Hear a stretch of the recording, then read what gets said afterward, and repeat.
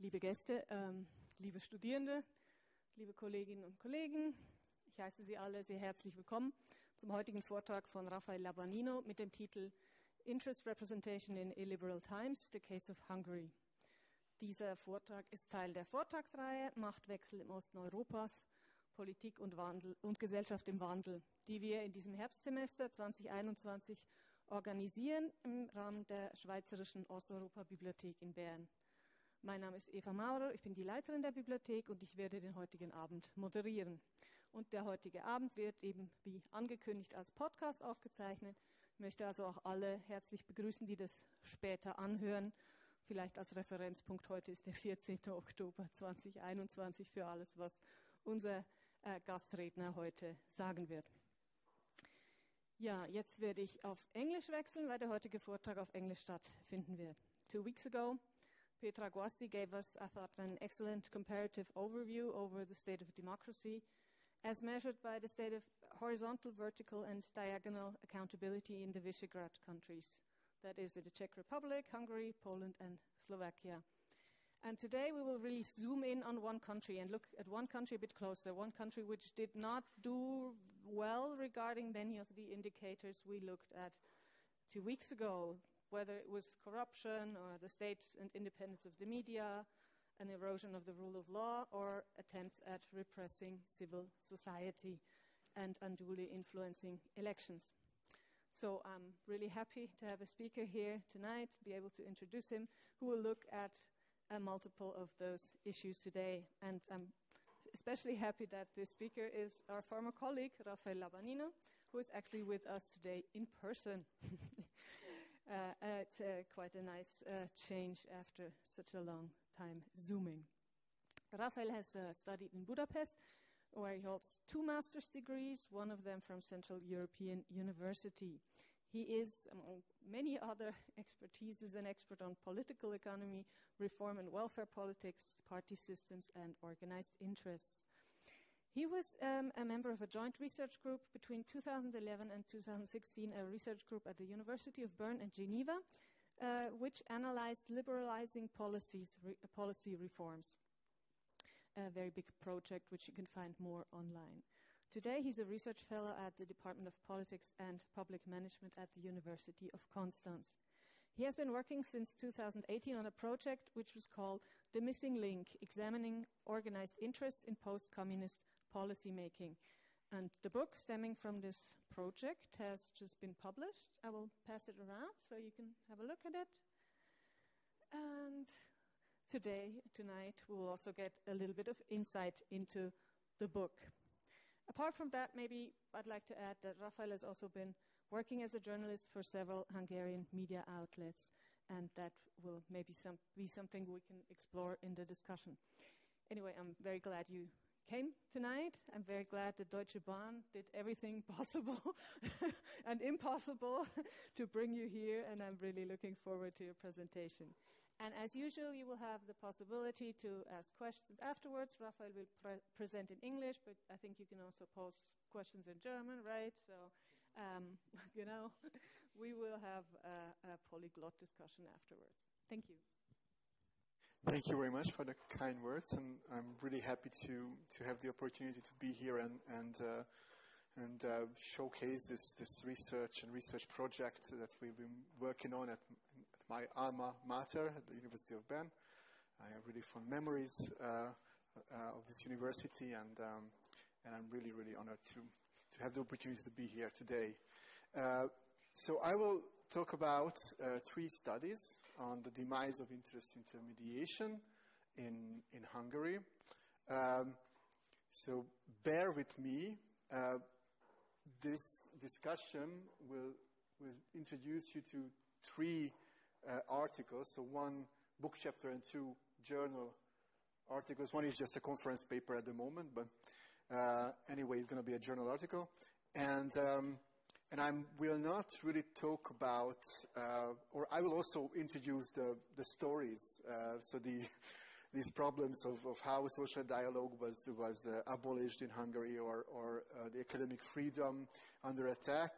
But, um, but I will more talk about theories and how to analyze such such uh, events or such, uh, such outcomes uh, with the help of, of political science and, and sociology theories and, and um, process tracing methods and, and statistics, uh, but, but you, don't, you, you don't need to have any background in these, in these literatures or in these methodologies. I will explain everything, but I think it's, it's more fruitful to, to have a theory-based discussion to, you know, to, to explain outcomes and not just say that it's because of, of, of backsliding. We have to operationalize backsliding, so we have to kind of grasp these, these, um, these complex uh, phenomena and, and make it into something parsimonious to, in order to, to explain what happened. Uh, and of course, we cannot give a full account. Uh, we just try to explain some, some very specific outcomes. Uh, so it, my, my uh, um, presentation will be like, like uh, an, an, onion.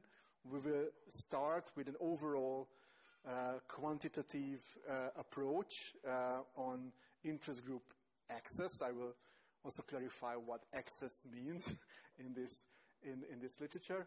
And then we will kind of zoom into the case of social dialogue in Hungary, how it was abolished, and then we will zoom into the case study of, of academic freedom and protests uh, in, in the past 10 years, two protest waves, which are taking place in this environment of, of, of, uh, of lack of access to the policymaking uh, arenas and, and, and, and policymakers, and within, within, within this context of abolished social dialogue, particularly in, in the public sector, so in higher education as well. So, and then we will understand the context of these, of these, of these protests and, and, and why and how these interest groups in higher education tried to, to kind of deal with these, these challenges uh, in, in Hungary. So, first of all, uh, you last week you had, I think you had been introduced to these to these methods and indices of, on backsliding. Uh, and now I want to operationalize this, this backsliding before we get on uh, with with the uh, with this presentation. Um, and I think um, this concept of Kim Lane Scheppele, uh, who is a, a, constitutional lawyer from the U.S. and it's a and she's a an expert, um, among others, on Hungarian constitutional um, constitutional law. Actually, um, she called this this this uh, the strategy of of of, uh, of elected elected authoritarian leaders like uh, like Viktor Orban, um, autocratic leg- legalism. So these these people don't, you know, um, grab the power and, and I don't know, uh, arrest uh, their opponent, opponents or uh, so nothing happens if you go to Budapest. It's a beautiful place. uh, you can enjoy your time. Uh, you can have discussions with with uh, with all kinds of people. Um, bookshops are full of books from, from everywhere in the world. So you don't have this kind of um, overt repression. What you have is, is, is a gradual hollowing out of democracy through legal means. So, and, and actually, Viktor Orban is, um, is a master in this because he's a really good and shrewd lawyer, actually. He's a lawyer by training and, and was a really uh, bright law student um, at the most elite institution of Hungary, so he knows this game. Um, so lawmaking is weaponized against uh, the opponents or against sectors that, that are uh, bound to, to be taken uh, on by the government. Parliament is rubber stamping laws without any consultation. Um, so they are using legal loopholes that, for example, in Hungary, um, single like members of parliament can introduce legislation yeah, into the into the parliament without. Uh, of course, they need to get it through to a committee, but in the committee, his party has, every committee, his party has the majority. So it's easy to, to push through legislation by, by, by individual uh, members of parliament. Um, and of course, this, this, uh, this institution uh, is made for the opposition, yes, not for the government. Uh, so it was, it was thought to, to give an opportunity to to members of parliament who doesn't have uh, a government or, or maybe does, not even have a faction, parliamentary faction behind them. Um, but they're using it to, to introduce legislations just, you know, out of the blue um, on a Tuesday, and by Thursday it's adopted, and that's it. And there's no negotiations, there's no consultations with anyone. Um, the constitution actually was, was, uh, was adopted like this in 2011. Uh, it's, uh, it was only supported by Fidesz, and it was also adopted, uh, it was introduced and, and, adopted in such kind of um, a very, uh, um, very uh, not open manner. Um, and laws and institutions do not check the government anymore, but ensure the increasingly authoritarian nature of governance and corruption. So this is that you put your your friends and and and and, uh, and trusted uh, people into institutions that are supposedly check the government. So I think Petra Guasti must have thought about it. So this is kind of the this is how you neutralize horizontal um, um, uh, check on on governmental power. So this is kind of the framework of, of what is happening in Hungary or in Poland. Um, yes. So uh, the overall, so kind of the bird's eye view on on how to how to measure what is going on in these countries. Um, we need to talk about a theory or, better better to say a, a framework, a political opportunity structure, um, which is actually um, uh, the political opportunity structure is uh, is the main uh, social science framework of, of contentious politics. So it, it is used actually to to look at protest.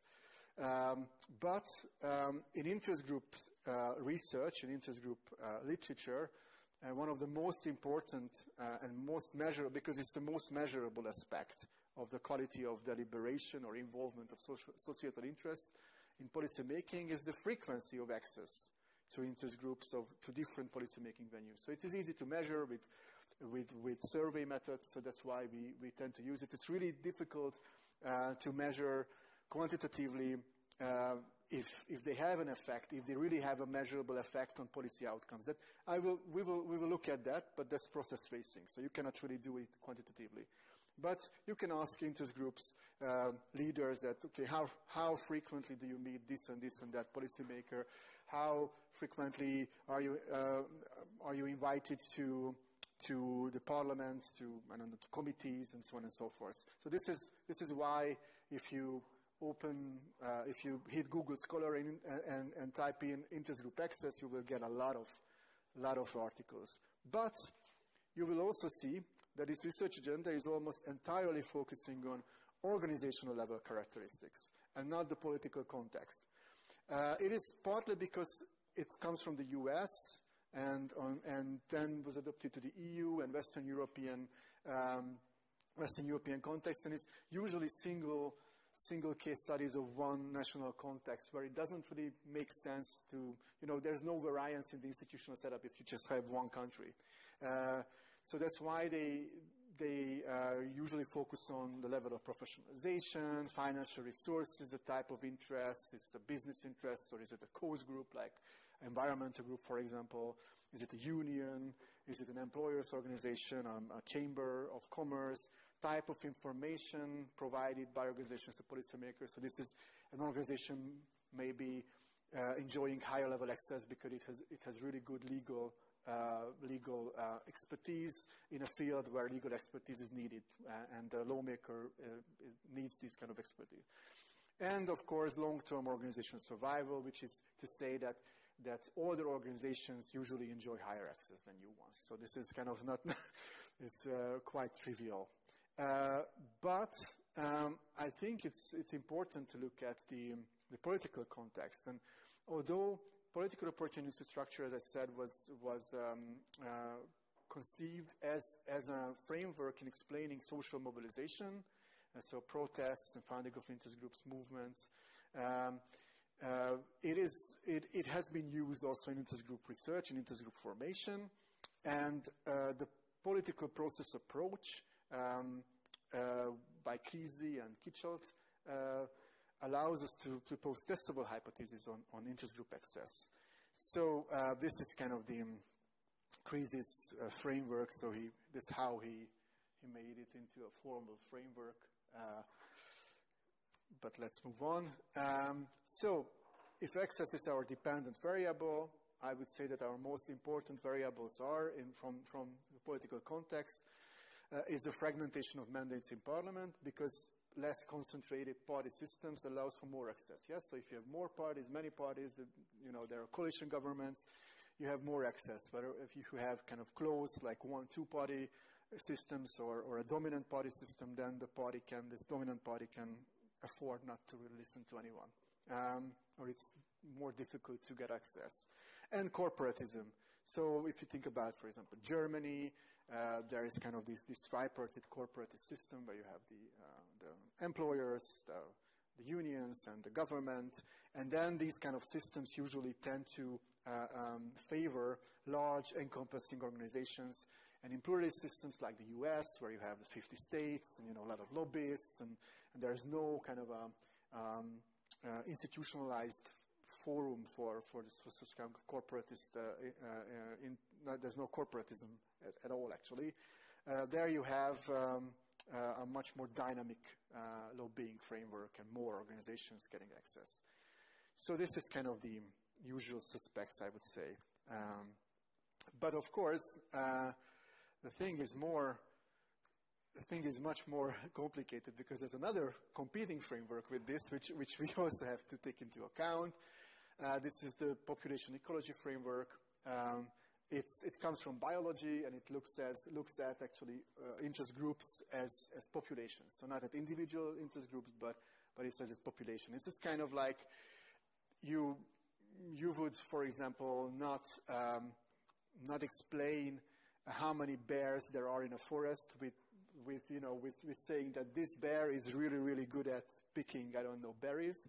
But you would say that, you would say that there are, I don't know, 100 bears, so many berries, so many, I don't know, deers, and then the 101st bear will starve.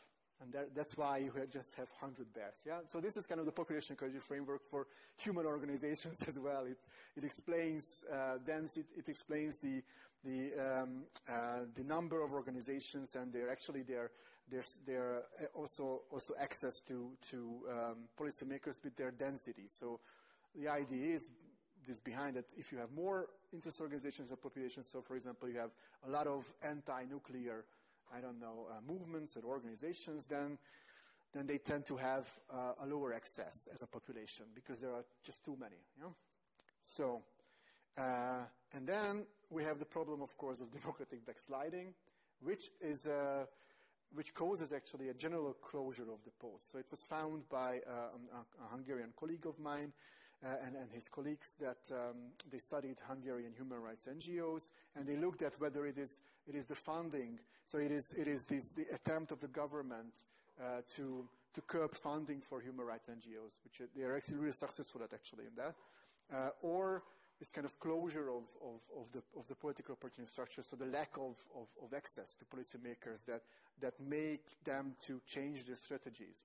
And they found it's not really the, a problem of finances or founding that, that makes them to, to change the strategies, uh, but this kind of lack of, of access to, to the policymaking uh, apparatus, and not only to politicians, but, only, but also to, to the bureaucracy, to, to um, where they where they actually had a really important uh, important role to play, for example, in migration or dealing with uh, with uh, imprisoned people in prisons and so on and so forth. So human rights organizations were, were important in this in this work, but now they are completely shut out from from this even in this not from the not only from the political but also from the bureaucratic uh, um, neutral arenas.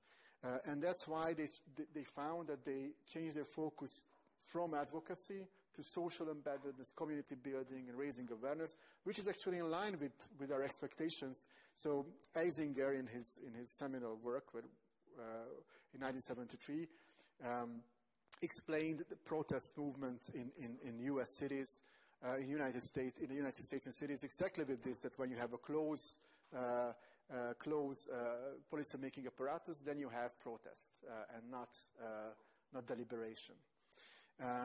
so, how to measure the deliberative component of, of, of, um, of uh, democracy. Uh, luckily, uh, our colleagues in Zurich um, helps help us in, in, in, that as well.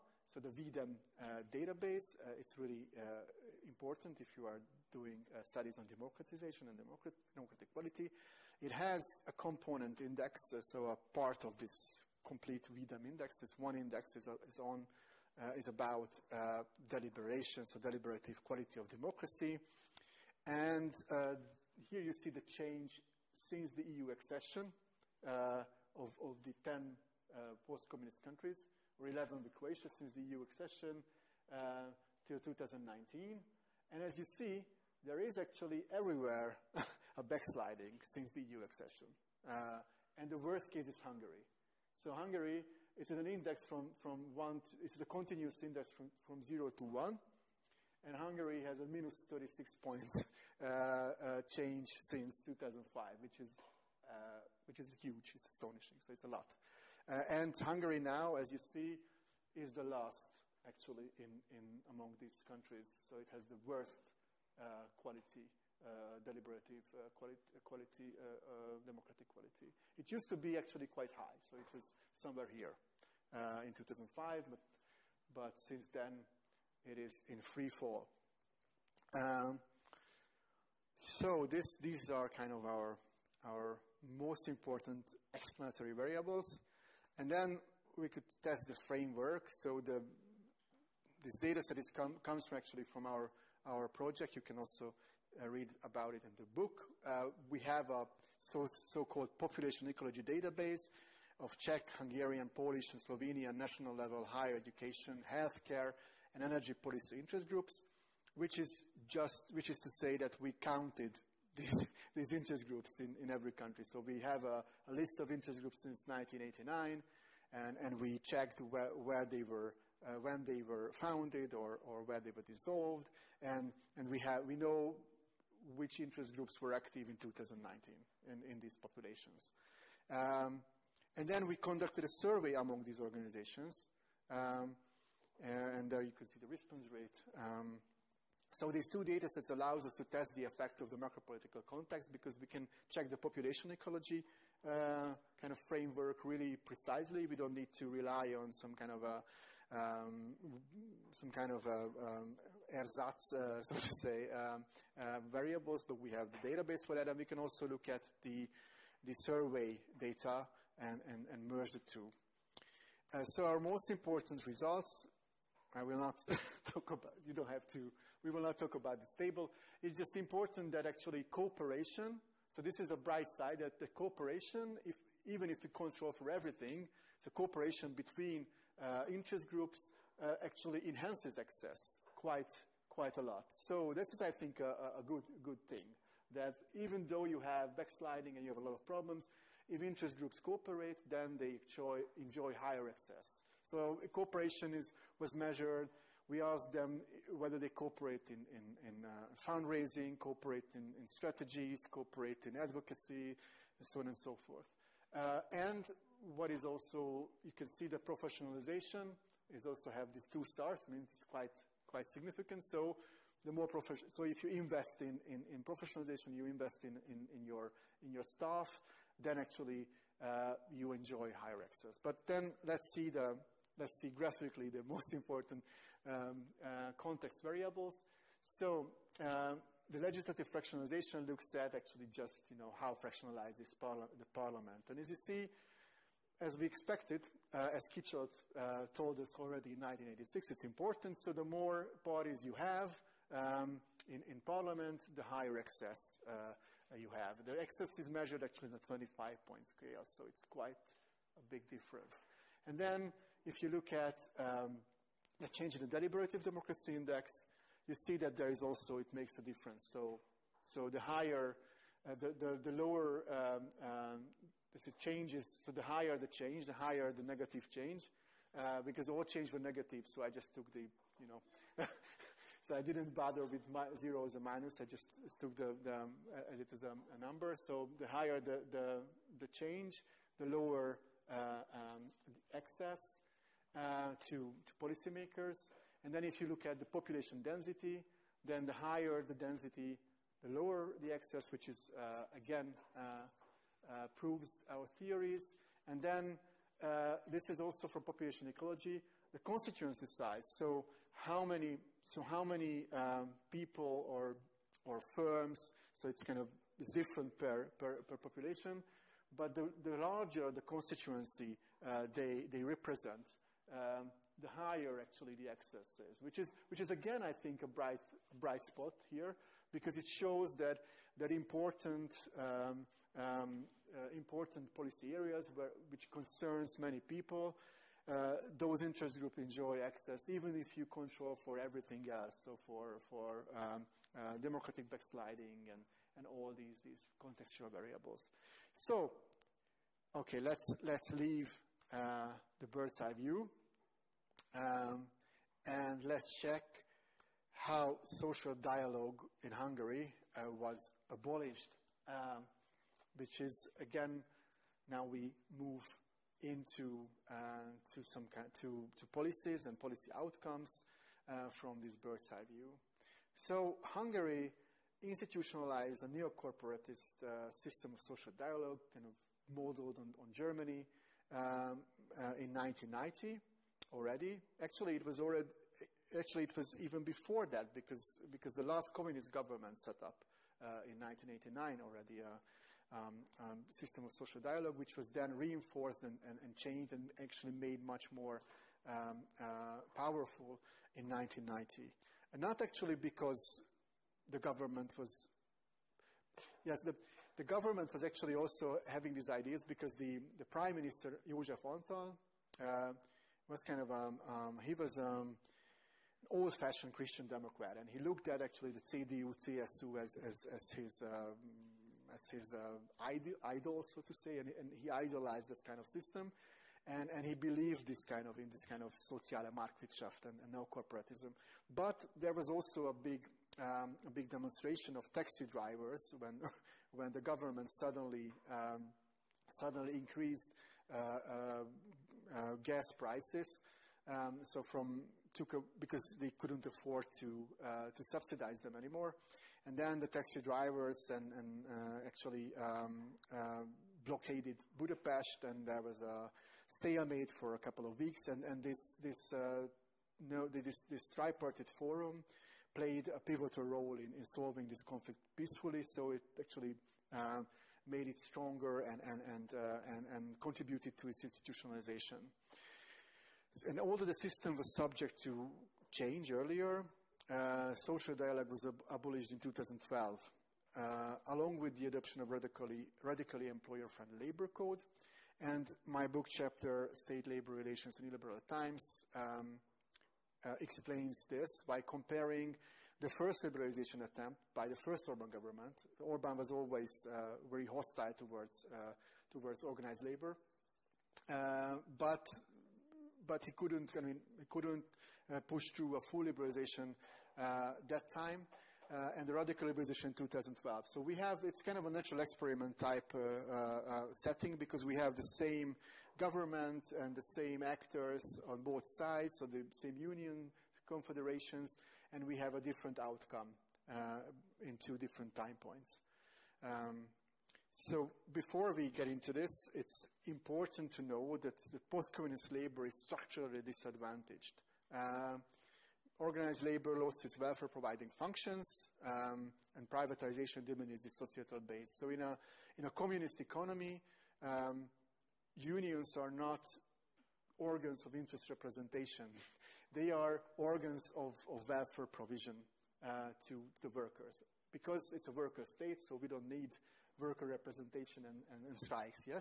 So what we need is, is welfare providing function, but, but of course, in a market economy, unions losing this, this kind of welfare providing functions. Of course, there are, for example, in Sweden or the Ghent system, uh, where you have, uh, where you have, there are in some countries, uh, labor unions administer unemployment insurance funds, but it's not the case in the post-communist region. Um, and privatization, so the, the, the privatizing, privatizing, these big firms and closing them down, these big socialist firms, diminished uh, um, uh, its societal base. And, and, and, you can see here union density rates in Hungary. It starts with, with, with over 80% in 1990, and then in 10 years, it's at 20%. So it's um, so it's a structural uh, problem as well that they are weak. Uh, but it doesn't explain anything, uh, everything, uh, these kind of structural constraints. So structural constraints are there, but you still have actors acting within these constraints. And um, Avdagic has a really good uh, framework for that. Uh, she says, she contends that there is no deterministic relationship between uh, this kind of structure, not cultural, but structure, sorry, structural constraints and the new institutional setup and policy outcomes. And what is really important that she says that actors' core objective is actually maintaining their power under any circumstances. And, and, it, and preferred policy outcomes are only coming second. That's, that's really important to, um, to pay attention to this because it will pay, play a role later um, in, in, in, in the presentation uh, and in, other, uh, in the other cases. Um, and in the post-communist context, uncertainty is a graver issue than in the Western context um, because of this instability of the new institutional setup, because, because the actors don't have kind of decades of, of, of, of interaction with each other. They are not as em- socially embedded. So, so it's really, especially in this context of, of the immediate transition, so this first, the first decade after transition, it's really difficult to anticipate. Uh, this, what will the government do? What will the uh, what will the unions do? How so? So they actually their choices reflect their perceptions of relative power rather than institutions, norms. Um, then, the, uh, if if you if you look at uh, Sweden, Finland, or Germany, you see also, of course, change and you see power struggles, but you have a much more embedded um, uh, institutional uh, solutions, and, and, institutions convey trust among actors. So if you have weak institutions, you have weak social trust. Um, and party politics also matters. So Klaus Armingeon, who was, a, uh, who was my boss and, and, was a professor here, now he's in Zurich, um, he, uh, he looked at this classic, classic partisan framework uh, hypothesis and, and, uh, and, tested it also in, uh, on Central and Eastern Europe. And he found that actually it's not, it's not that different. It's not different at all. So you need a strong left party in, in Central and Eastern Europe as well for uh, high union density rates, high collective agreement coverage, low employment protection flexibility. Um, and you need a strong center party, so some kind of a Christian democracy for low income inequality. Um, and, uh, and this is not linear causation we are talking about here. Uh, this is kind of a fuzzy set logic, which means that the presence of a necessary condition does not automatically translate to an expected outcome. It is conditional upon the context, upon, upon how uh, actors uh, um, interact with each other. Yes, and then let's look at the status quo in 1998. So this is kind of the first liberalization attempt by, by the first Orban government. Um, you have, as I said, an institutional tripartite social dialogue uh, system. Uh, the Interest Reconciliation Council is the peak forum, um, which uh, responsible for minimum wage setting and the main forum for national wage setting negotiations. So maybe you, I don't, I don't know the Swiss system actually, but it must be kind of the same.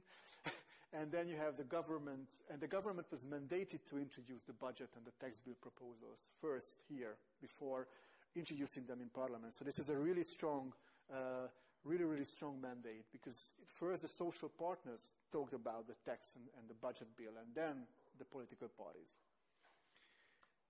But it was over in 1999.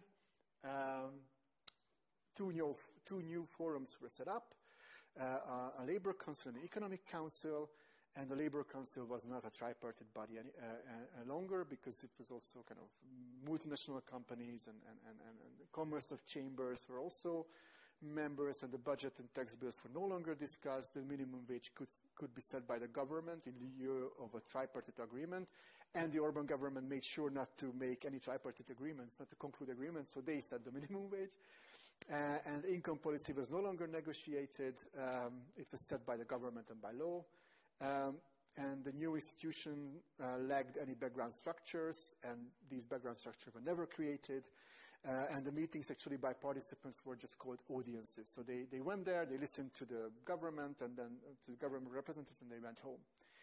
Um, and uh, so this is kind of the um, um, yeah. So this is this is this is kind of the party system uh, properties, and and um, uh, in 1998, um, after the harsh austerity and pension liberalization, Fidesz won on an anti-reform, pro-welfare ticket, actually, and they delivered on this. So they they they reversed some some um, symbolic, uh, symbolic um, measures of, of the socialist uh, liberal government, um, but their incomes policy and labor market policy were markedly right wing, uh, particularly in, in the public sector. And um, the Socialist Party in this time still had a strategic partnership with, with MSZOSZ, the biggest uh, union confederation. This is kind of the, um, this was, this used to be the communist um, uh, um, confederation. It got a new name, but it was uh, that confederation. And they were able to exploit the discontent with these politics, with these policies. And by April 1999, the socialists closed the gap with the Fidesz in the polls, and the issue of union rights and social dialogue became part of their 2002 uh, electoral platform. And after they won the elections, they reversed these policies of Fidesz. So actually, this, this, this um, uh, although this, this connection between um, the biggest union confederation and socialists, was a disadvantage because Fidesz uh, attacked them with this, with precisely with this, uh, uh, with this link, and they were discredited a bit because, um, because of the austerity policies of, of the socialist government and the pension liberalization. But as soon as, they, as social dialogue um, uh, came under attack, it proved to be a power resource and it's important, um, important power resource, and, and these issues became salient uh, on the elections. So, so salient, actually, that in, that in paradoxically in 1998, after four years of austerity and, and, and, and pension liberalization, holding left-wing views on, on the economic policy um, actually decreased the likeliness of, of voting for the socialists.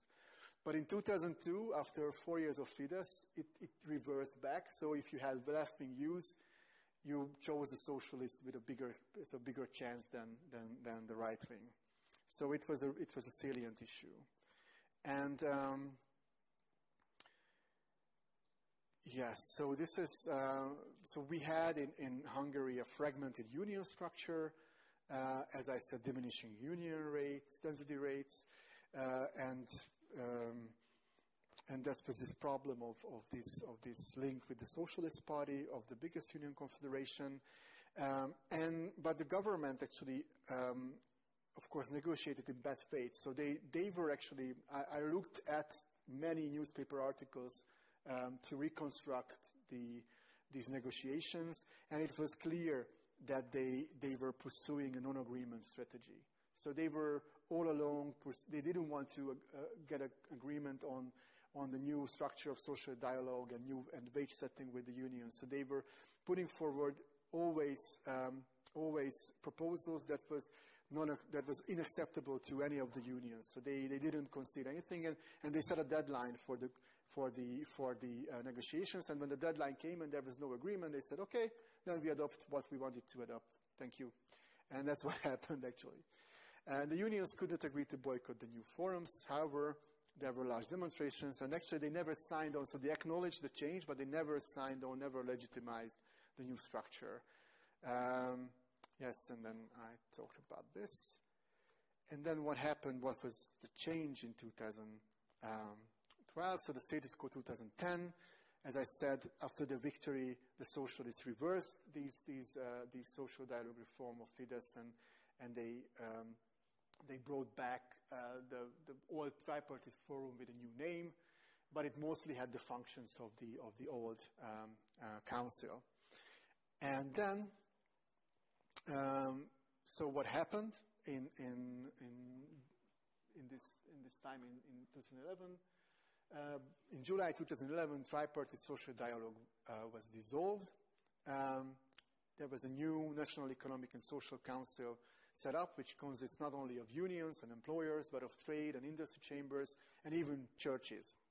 Uh, Orban had had a speech at the first meeting of this of this uh, the founding meeting of this new forum, and, and, he said that that it is a fallacy to think that, that the issues of labor uh, and, and, and work is only um, is only is only the issue of, of, of employers and, and, and, unions. It's a holistic issue, and that's why we have this this really uh, encompassing uh, uh, organization. And the government representatives are merely observers and it can only draft proposals for the government. So there's no negotiation, no consultation. They can draft proposals and, and put it forward to the government if they wish to do so. Uh, but there was a new consultative tripartite body also set up, but only for, uh, for the private sector. So any kind of social dialogue and, and any kind of interest reconciliation or an intermediation in the public sector was abolished completely and of course, this is also just a consultative forum, so it doesn't have the, the mandates of the old um, tripartite forum. And the new labor code uh, was also adopted in December 2011, um, which reconceptualized employment relationship as a civil law contract. So this is, this is radical because it assumes that, it assumes that, that employers and, and employees are at the same level. So there's no power uh, imbalances between them. Um, and it allows actually for for uh, for even lower standards than stipulated in the employer and the new employer-friendly labor code. So, because it says that they can contract freely uh, and and and agree to to more overtime if they wish so, as if it was kind of um, negotiations between equals, so as an between employees and employers. Um, so this is a radical change. Um, And what what have what changed in the structure and, and, and uh, of, of, the context and what changed uh, in uh, in the uh, in the constellation of actors. So the union structure remained fragmented. The union density rates have fallen to a mere 10 10.7 percent by 2012. So it was even lower than 10 years ago.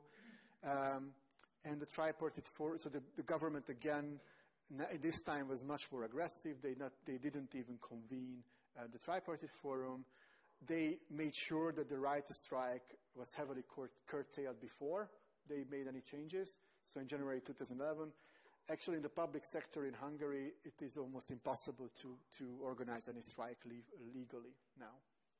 Uh, so it is telling that between 2006 and 2008, there were 40 incidents of strikes, and between 2010 and 2014, when the biggest kind of attack on organized labor in the history of the country was taking place. There were only 20, and out of which were uh, six was only warning strikes. So it, it, tells you that the new strike law really, um, really uh, constrained the right to strike. And the government uh, learned the lesson from, from the previous uh, uh, liberalization attempt and played favorites with two confederations, um, making a united action impossible. Uh, they introduced direct government control over uh, government control over incomes policy, and they actually launched about their social policies and labor market policies the first national consultation, which they um, regularly uh, launch these kind of consultations. These are not consultations, so they just send out some kind of a questionnaire to citizens uh, where the questions are leading. So these are not real questions. So there's a, you know, you can for example, they had also on, on, on George Soros uh, this influence, these kind of questions, and they have now they have a, a, consultation on on LGBTQ rights, and they there are questions: Do you want to that your that your the kindergarten children have access to to gender change operations? So this kind of you know th- th- this is this is what we are dealing with. So this is kind of these these are the questions we are dealing with, and then of course. Uh, the questions came back. The consultation was uh, was a success for the government, and then Orban said that uh, that yes, it. We, we, we, we know now that, that Hungarians doesn't want Hungarians don't want free beer. That's what he said, and he implemented these these policies. So the party system properties actually uh, also changed, uh, and not just because they had a two-third majority. Um, uh, it is really so Orban turned the Hungarian National Assembly, the parliament, into a law factory. In 2011 alone, it adopted 365 laws in the new constitution, whereas in the previous uh, legislative uh, cycle, the total output was 591 laws. So it tells you the, this kind of law factory. And of course, this sweeping agenda um, uh, had, of course, a lot of conflicts, of course. So there were widespread protests. There were sometimes tens of thousands of people on the streets of, of, of cities in Hungary.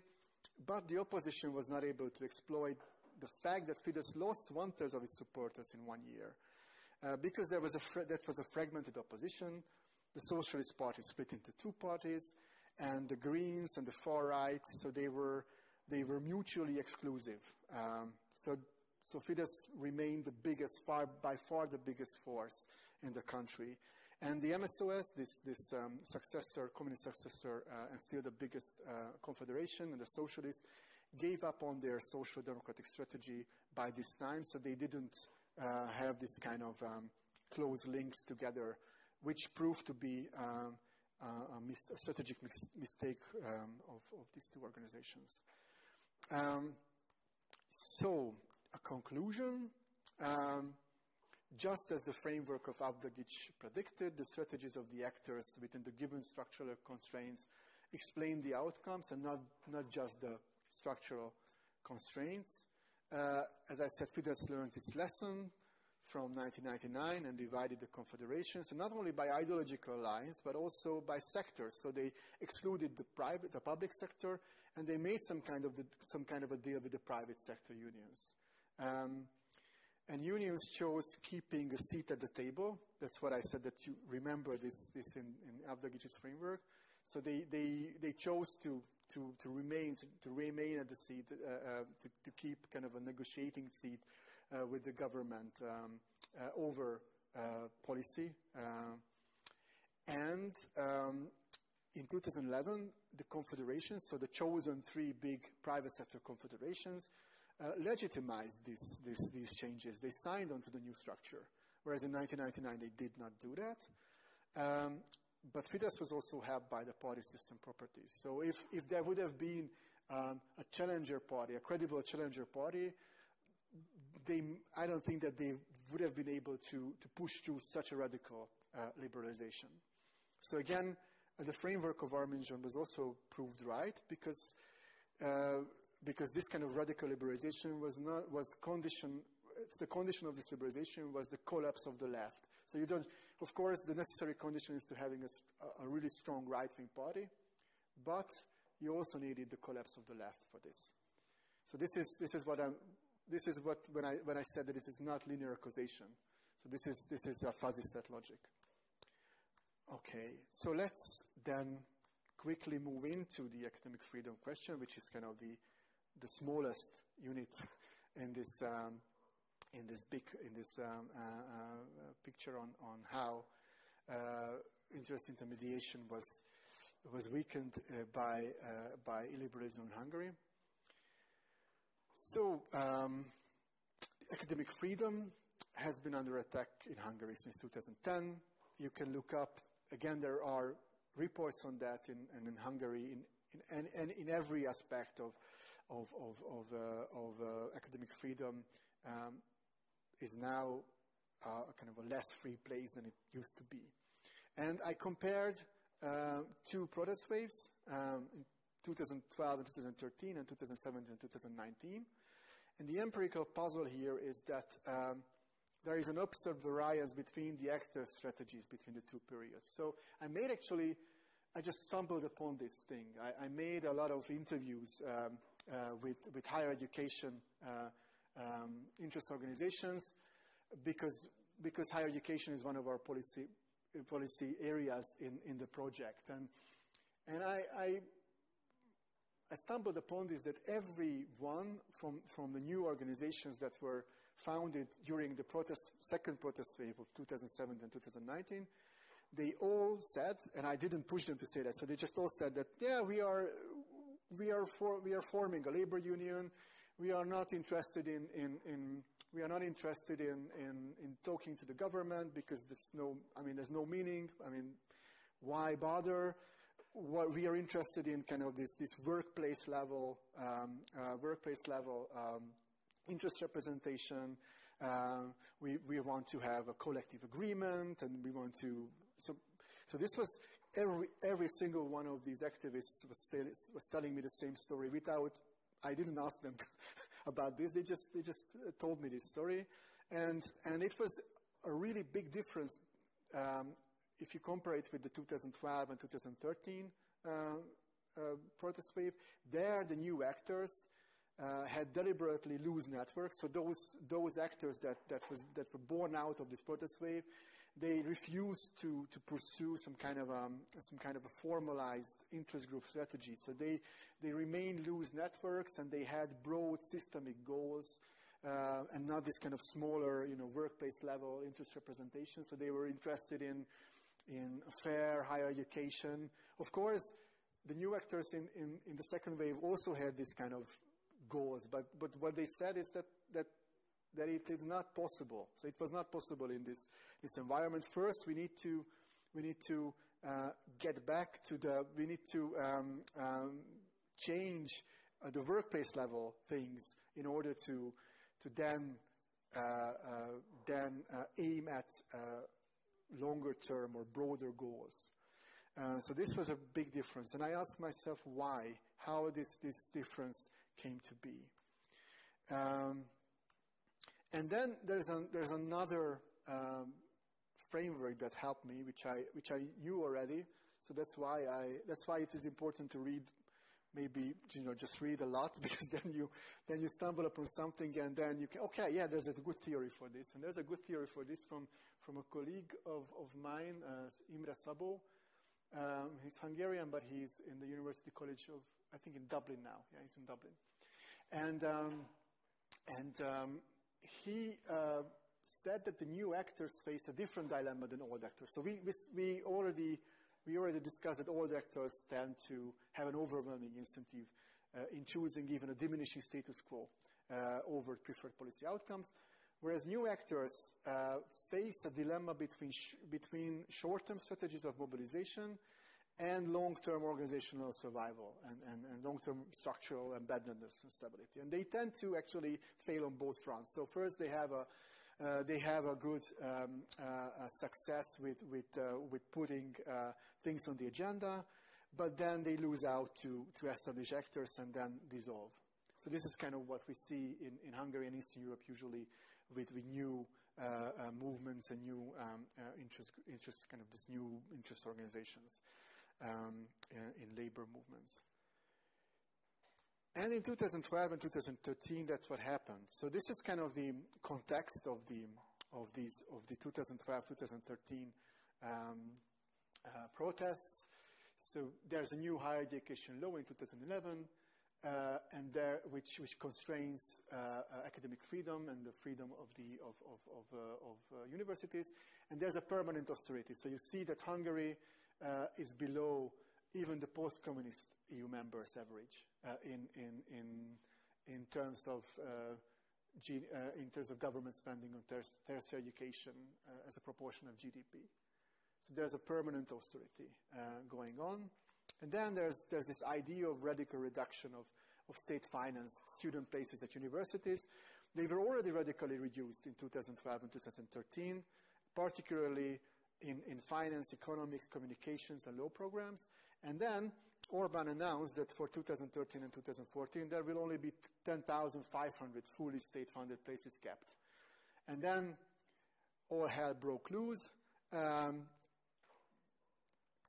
uh, the, the, the, the, main organization of, of, the protest wave was Student Network, HAHA, Hallgatói Hálózat, Students Network. Uh, they were a loose network. Um, and, but they actually occupied the biggest university in Budapest for weeks. Uh, they actually just organized a forum at, at ELTE, this is the biggest university, the of course, at the sociology department. And, uh, and this, this, this forum turned into a big march. Uh, in Hungary, university forums tend to sometimes tend to, to uh, uh, turn into big marches. That's how the 1956 revolution actually also started uh, at the Technical University. Uh, now it was the ELTE uh, sociology department.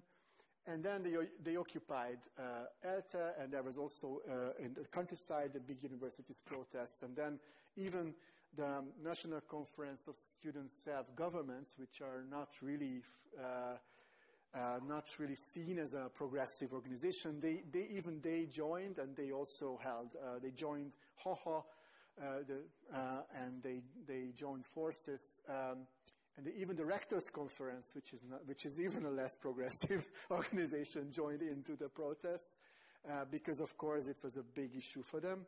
Uh, and then um, an independent um, um, network of academics, academics was also established, and they also uh, remained a loose network. And what happened is that, um, is that of course, uh, the established organizations um, made a deal with the government eventually, so and and left uh, uh the networks out in the cold. Um, so first, they they formed uh, these organizations. They established the new organizations, uh, National Higher Education Intermediation Forum, but then Orban saw that this is really, so he, they are always making a lot of, uh, like every week, different polls. And, and of course, he saw that this is not a really, really, um, uh, really popular issue. So in two weeks, um, they said, okay, we, let's forget about this, this reduction. We freeze the places, uh, the, the state finance places as they were in 2012. But remember, this is also already a radical, uh, radical reduction. Um, and they quickly drop, so they, they dropped these plans, and then they managed to get an agreement, conclude an agreement with the uh, which is the, uh, uh, the big student established student organization, and then they set up a new forum, a new roundtable, higher education roundtable, where they only invited the established uh, organizations, and even the, the union, the big union of, of, of uh, the big higher education union was invited, and they went, and they kind of signed, they legitimized these, these these, these policies of the government. Uh, and they, they, they kept then the, the reduced level of 2012. Uh, the student contracts, which uh, I didn't talk about, that this is, um, uh, you can look it up, were implemented, and um, the financing remained completely arbitrary. So now the government can decide every year how many, how many state finance student places there are. Before that, there were like rules and regulations for that, but now it's kind of, you know, if they, they wake up and they say 50,000 is 50,000, and they say 40 is 40. And austerity was kept. So if you look at this, so you can evaluate this deal by looking at the this this um, the the finances. As you see, the rectors didn't get more money, even though they they signed up for for these changes. Um, and then uh, the new uh, so the new round. Uh, Okay, where is that? The 2017 protest. Where is? Okay, now I'm I lost in this Prezi presentation. This is actually Hungarian software. Really looks really good. looks really great. Uh, it speaks German as well and English. So, um, so we are again. Uh, five or seven years later, and there we have another protest wave. So these are huge protest waves, okay? So, so in 2017, there were 70,000 people on the streets of Budapest, so because of higher education policies. So this is, this is an important issue.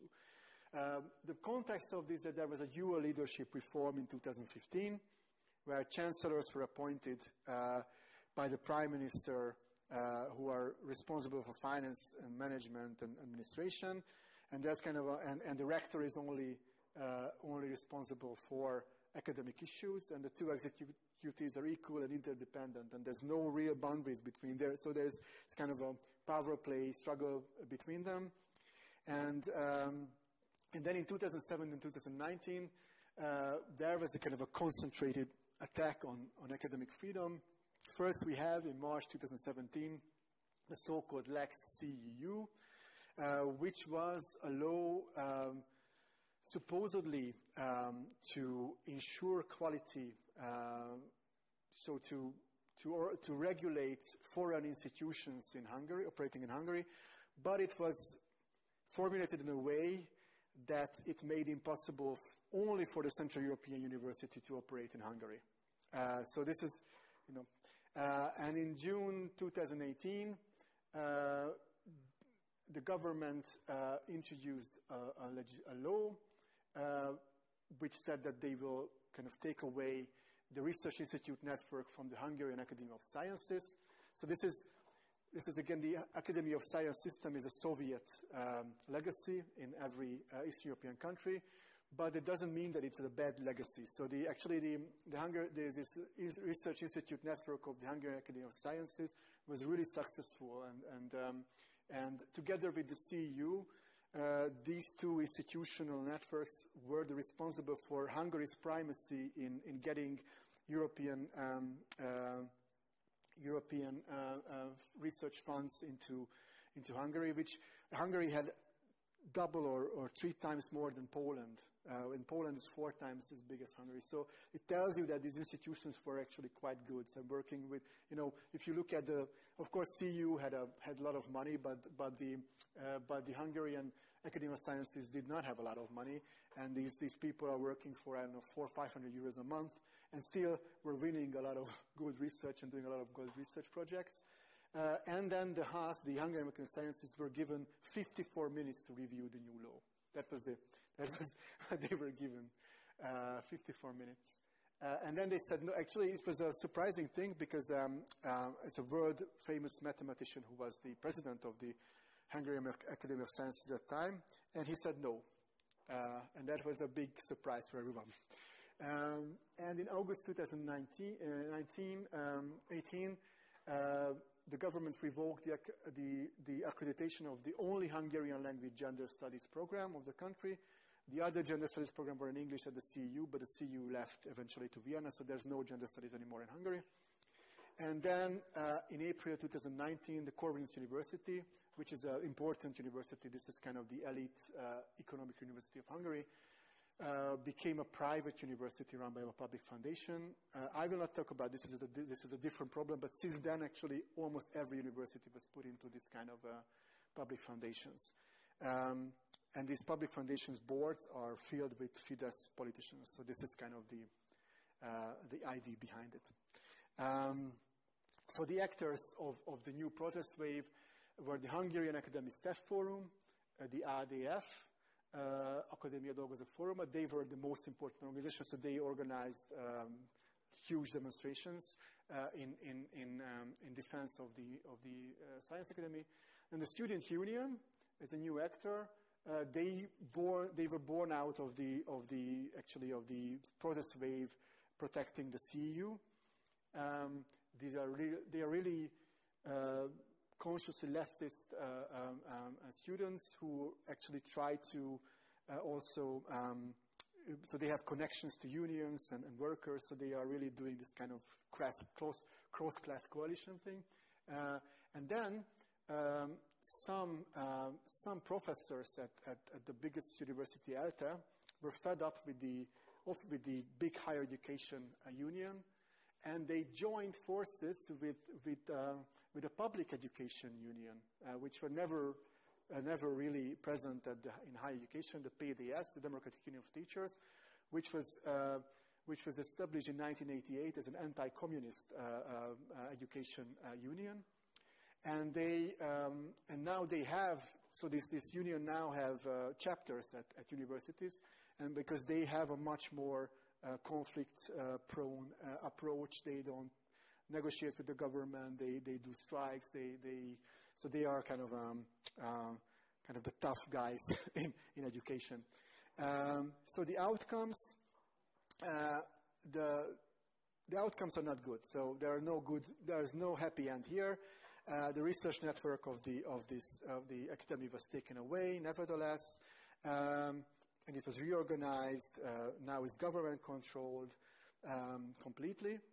But uh, what, the, what, what the forum of, of this, what this organization of the, the Academy Staff Forum achieved is that uh, the government could not divide the different research networks because, of course, there are conflicts. So, for example, the, the, um, Uh, the natural science researchers are looking a little bit down on the social science researchers, and, and they have, of course, fights for, for funds, for funds. But but the but the Academic Staff Forum uh, was able to organize at every research institution chapters, and they kind of presented a united front. Uh, so nobody legitimized this power grab from from the Hungarian Academy of Sciences, which is a surprising event. Uh, the CEU, although there were uh, 70,000 strong demonstrations in, in, in, in, its defense, had to leave the country, uh, although it complied with all the kind of absurd legislation that was thrown at it. Uh, the Orban government uh, just refused to sign the agreement with New York State. They just because the, the, the, American programs uh, of the CEU are accredited in, in New York, in the state of New York, and and they, they, they had a regulation that they had to conclude an agreement with, with, um, with New York State, but they did not, uh, they did not conclude this agreement. And the CEU eventually had to leave because they couldn't accept new students. So they left to Vienna and they kept their campus, but there's no teaching anymore uh, in Budapest at the CEU. So um, I hope that you could get in all this information. Uh, and I thank you for your attention, um, and uh, let's have a discussion in the remaining time. Thank you.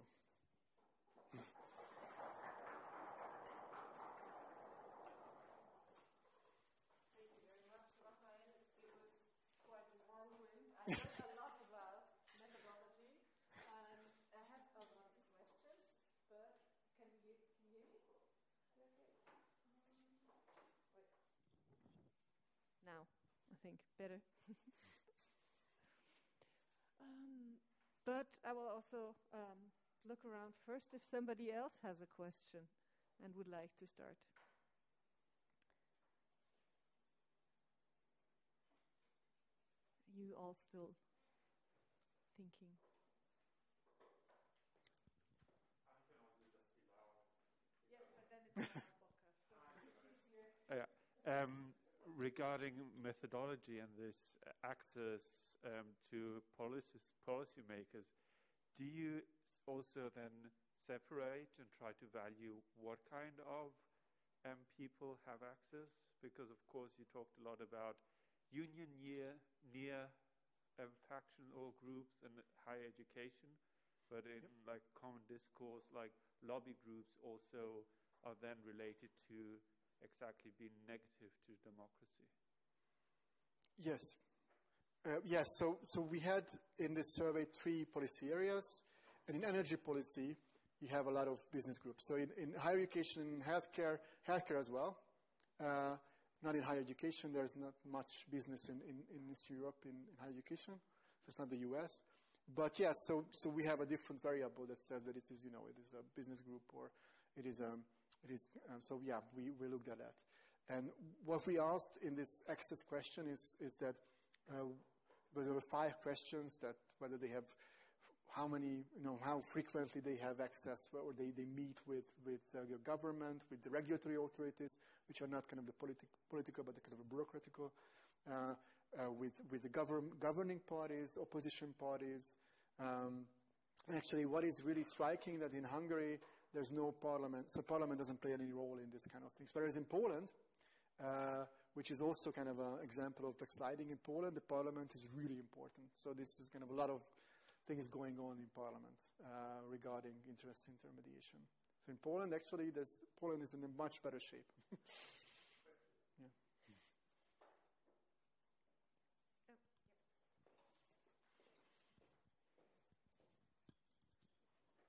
Um, you said it before, but also right now um, that the parliament does not play any role really uh, within the government. Um, what are the expectations for the parliamentary uh, elections that are coming up? Is this going to change anything? Or? In Hungary? Yeah. Well, yeah, we can talk about that as well. So, uh, so just to answer your question, yes, now there's a change in, in, in the party landscape. So the opposition parties, six parties, uh, it's really fragmented still. Uh, they joined forces. So this is kind of a, um, so to say, rainbow coalition Um, uh, that's how it was called in, in, in other, uh, other uh, contexts. Uh, so even the far right, the Jobbik party, and, and the socialists, the liberals, Greens, everybody is, is, is, together. And of course, they all needed to kind of the Jobbik moderated itself and, and, get rid of the, the worst people uh, in the party. But they always have a, they every week has some kind of a scandal with a, with a politician that, you know, from the past, that what kind of comments they made, uh, anti-Semitic or, or racist, and then some. So there's always some, some issues, but these parties nevertheless made an effort to kind of to, to, make, to, to have a united front. And actually now there was primaries. So they made primaries uh, because there are, let's not get into the Hungarian uh, electoral system, but you have also single member districts. So, so it's important to have a uh, one opposition candidate against one Fidesz candidate. Uh, and that's, they did primaries. Uh, and it was a success. So there was the 633,000 people uh, participating in the primaries, which is actually better than the U.S. It's, it's, it's proportionally, it's, it's, better than the U.S. Um, it's really high. And uh, now there's, the sec- there's a runoff, the second round of the prime minister candidates um, uh, this week, actually, uh, because they, they agreed that the prime minister candidate was not, will not be elected in a just in a kind of a first past the post uh, manner, but, but in two rounds. Um, so the so the, the, the, the first three uh, candidates uh, could participate, and now there's only two candidates because one stepped back uh, in, in, favor of another.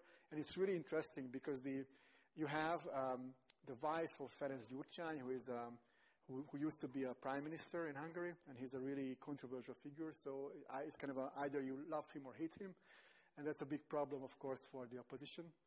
And his wife, she's a really capable uh, politician and, and really um, yeah, a good uh, a lawyer, and, and she's, she's the candidate for, for, for the leftist candidate.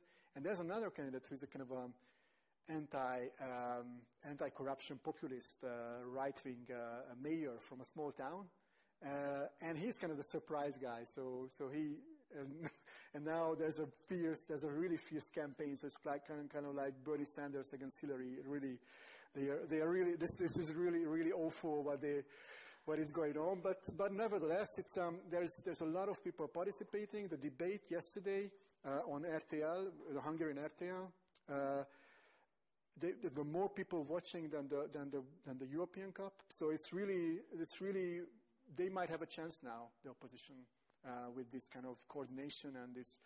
Fidesz is completely, so they, they Fidesz usually um, dominates the agenda in Hungary, but now they are just running after the events. They, they, they are, their campaign that was, that was actually, um, they had a really, really, really uh, uh, expensive campaign against um, the mayor of Budapest because they thought that he will win uh, the prime ministerial candidacy, but he stepped back in favor of this, this, uh, this small town mayor.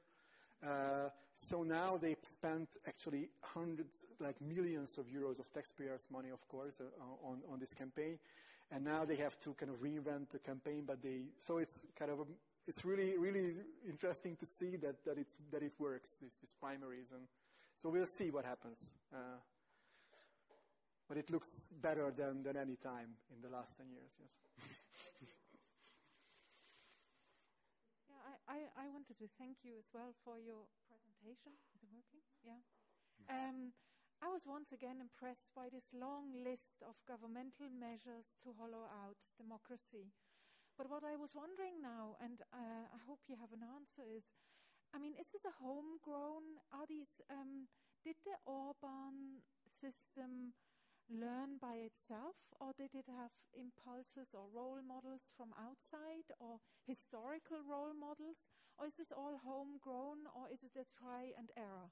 Like you try how far you can go, and then you implement a new law. Or um, I mean, um, I, I, was always wondering, like, is there a connection between Poland and Hungary, or Hungary and ma- maybe um, American conservatism, or whatever? You know, I was always wondering, are there role models for this whole system? Because it's so waterproof. I mean, it's like Teflon and um, and they always can continue when, with almost no rupture. I mean, you can st- you can still have protests and everything, but sometimes it does change things, as you showed. Um, but then again, there's a, a, a there's a new um, campaign to reduce uh, democratic structures. Yes. Yes, so yes, thank you. Uh, it's a very good question. I think it's a trial and error process, and, and of course they have contacts with. Now, actually, it's a new thing that they have contacts to conservatives. So Tucker Carlson was just in Hungary, for example. So, uh, and of course, it was a, it was a big. it was really funny because he he he was in Hungary again. It cost, I guess, uh, the taxpayers a lot of money that he was there for several days, and then he went to a festival, to a Fidesz festival, uh, some Fidesz youth organization. I don't know and then he was talking about, you know, uh, he was attacking China and Russia and all the, you know, and, and these people are, are really in, in friends with China and Russia and they were sitting there, okay. So Tucker Carlson really didn't really know where he is or, but, but anyway, so, so they have this, but, but no, it's, it's homegrown. So this is trying to run Poland. I think the Poland is a really different. So I, I don't like to, to treat these countries, uh, um, the same, that put this basket in the same basket. And, and this is actually what our, what our research also proved that in Poland, this, this backsliding is nowhere near uh, Hungary. Uh, and, and there's a lot of, I think there's also institutional uh, uh, causes for that, but, but you have a lively partisan politics there. Uh, peace is always hanging by the thread, so they always have to fight to win elections. So there's, they don't have two-third majorities uh, like Fidesz.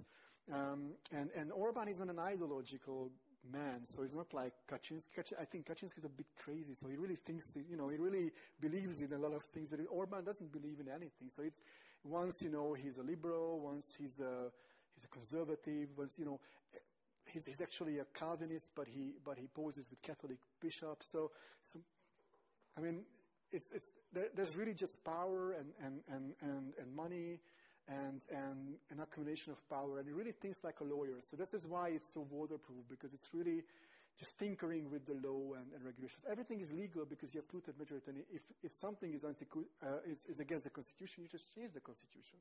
And that's what they do. So, so that's why it's waterproof, because it's, uh, and it's like real small steps, and then they make some concession here and there, but then, you know, when, when nobody's looking, they just implement it anyway. So this is a trial and error, which is going on now for, and now it's actually uh, a new phase where they, where they privatize the state into, into their own hands. So that's what, what happens with the universities, but it happens with a lot of, lot of areas. They give, they give a lot of money and, and institutions and, and, and and land and, and huge uh, buildings to, to these kind of public foundations, which are filled, the boards are filled with, with uh, Fidesz politicians and, and allied businessmen.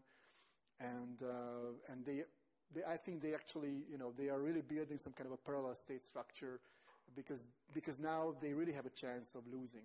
So that's why they are doing this. Um, so we'll, that, that's, so even if they lose, the story is not over uh, yet.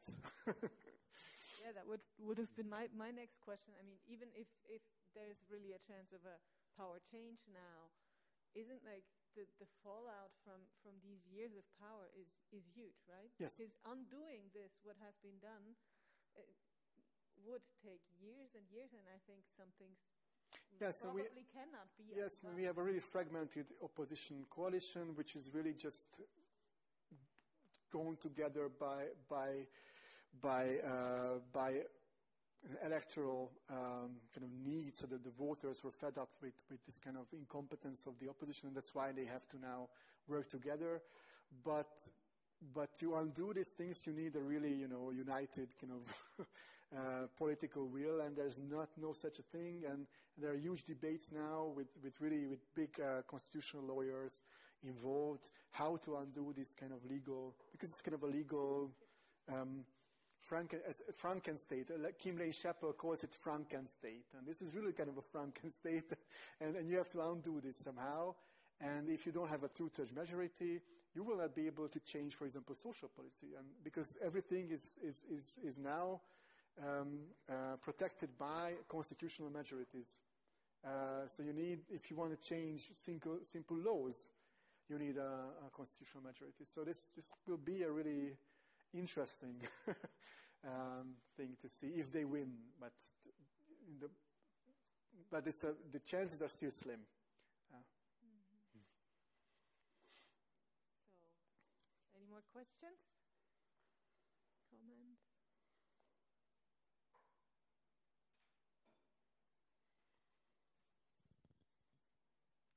Well, if not, I once again want to thank you. Uh, for all your insights and presentation, and you leave us with a, a small glimmer of hope.